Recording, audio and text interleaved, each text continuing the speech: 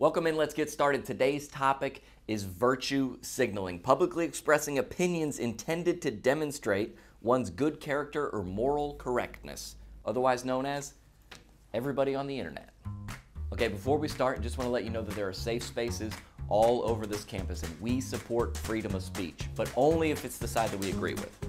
Okay, can you think of any good examples of virtue signaling? Okay, remember last year when Starbucks got in all that trouble for all that racial stuff with their customers? I posted on my feed that I would never support Starbucks again. Excellent. And then what did you do? Oh, I definitely went back like two days later.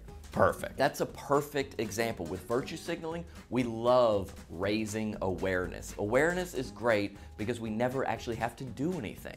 Raising awareness is like walking down the street and seeing someone getting beat up and be like, hey, everybody, that guy's getting beat up and then not doing anything to intervene and stop it. But it's like, we did our part, at least someone knows. You know what, this is starting to make a lot of sense. Yes. A couple quick tips to help you improve your virtue signaling. If you're gonna do something good in real life, always post about it on the internet. Otherwise, what's the point? You know what I'm saying? Volunteering, marching, get a couple fake candid photos gonna go a long way on the internet. Just always think about the likes. I mean, there's a Bible verse about this. Always let your left hand know what your right hand is doing.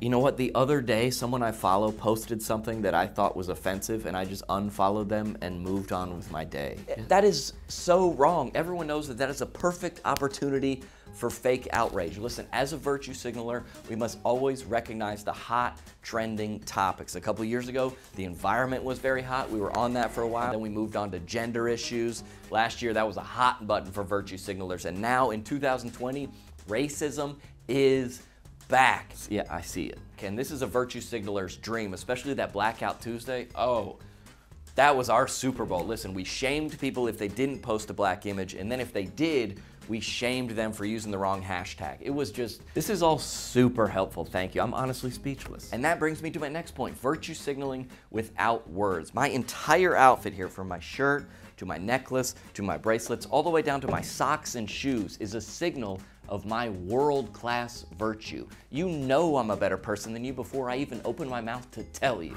This is a lot. Listen, this is all in the name of progress, okay? And in the name of progress, it's very important that we revisit the past, mostly by looking up celebrities' old tweets and finding dirt on them.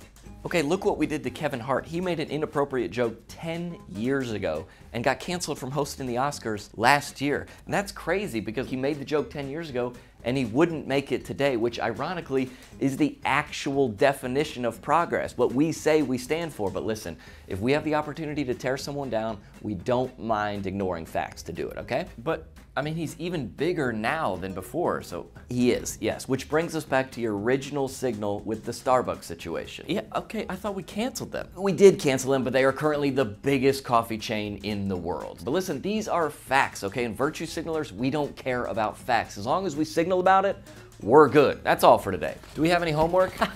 no, we never have homework. That's the beauty of virtue signaling. We never have to do anything. Listen, if you want to be a great virtue signaler, remember two things. Magnify your good deeds and other people's shameful deeds. That's it. We'll see you next week.